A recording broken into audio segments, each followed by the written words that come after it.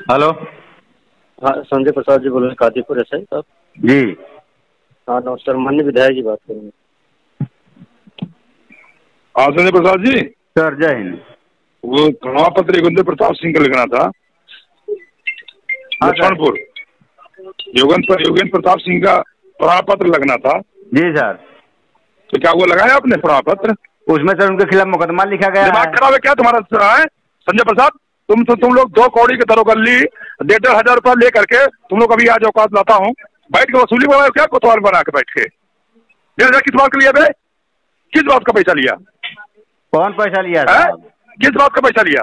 पैसा कौन निकाल के? जूता वहीं आके मारना शुरू करूँगा ना। हम वर्दी के सामान लेकिन तुम लोग साले मारे एकदम कन्नवा दिए हो। जाके बाबू साहब जाते हैं नब्बे का भाव लगा हुआ और डेढ़ हज़ार रुपये में तुम लोग बिक जा रहे हो। हम नहीं लिख पाएँगे साहब हमारा ट्रांसफ़र करा? दीजिए आप हम नहीं लिख पाएँगे। नहीं नहीं नहीं लिख पाओगे पैसा किस बात के लिए बे?